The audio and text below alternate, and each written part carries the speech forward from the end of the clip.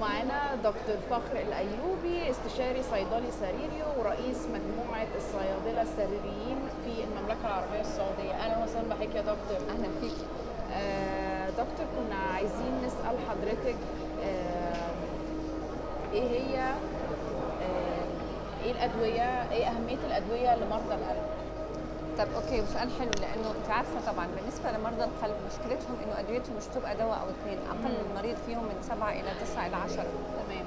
إحنا طبعا باللغة الإنجليزية بنسميها polypharmacy يعني عنده صيدلية متحركة. أهمية الأدوية إنه لو ما أخذها المريض ممكن تحصل له لا سمح الله مضاعفات. تؤدي إلى فقدان الحياة. ما في يعني it's not kind إنه disease تقولي لا مريض لو ما أخذتش العلاج اليوم هتاخده بكرة أو it's okay لو عدى يوم أو يومين. لازم ياخده بشكل دائم. وبشكل صحيح بجرعات مهمة. أيام بياخد الدواء بس بجرعة غلط مثلا. أو بياخد أدوية مع بعض فبتعمل زي تفاعلات سمية.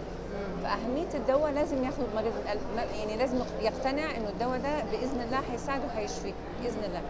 الشيء الثاني إنه الشفاء مش معناته إني أبطل أدوية. لا الشفاء يعني إني اخذ دواء ما زيدش بقى كل سنة يصيروا سبعة أو ثمانيه كل ما التزم بدواء.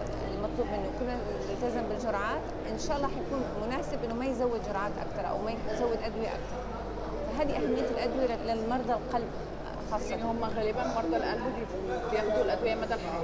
مدى الحياة والمشكلة القلب مش حاجة بسيطة. يعني ممكن طبعاً. يبدأ بقلب بعد كده لا سمح الله بالكلى بعد كده لأنه عم يت- عم يتضاعف. القلب هو أساس الجسم.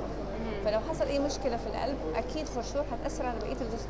يبقى أنا لازم أحافظ عليه أو اتليست اخذ أدوية. اللي تحميه عشان يقدر يستمر معي بشكل سليم وما تتضاعف المشاكل بشكل أكبر. تمام. آه، إيه التوصيات العامة لمرضى القلب؟ أهم شيء في مريض القلب إنه هو هو دكتور نفسه هذه دايما بقولها كل المرضى اللي بشوفهم في العيادة.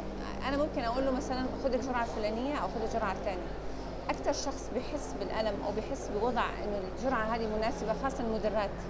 مدرات البول هي ادويه مزعجة بس من ادويه مهمة في ال- في القلب. آه الكوليسترول ال- الضغط. يبقى لازم هو عنده متابعة. المريض من نفسه يتابع نفسه حتى لو ما لقى موعد عند دكتور يقول لك أنا ما لقيت موعد أنا حاجي بعد سنة.